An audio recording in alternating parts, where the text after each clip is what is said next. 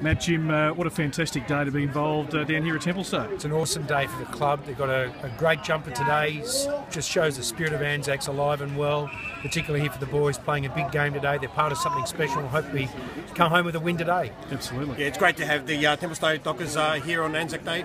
Uh, it's great to have the local clubs actually involved in Anzac Day, which is a privilege for all of them to be involved. Uh, with Manningham City Council here, Matthew Guy, the member for Bulleen, you know, to support them and to be here for them is absolutely uh, fantastic for us to be here and supporting them.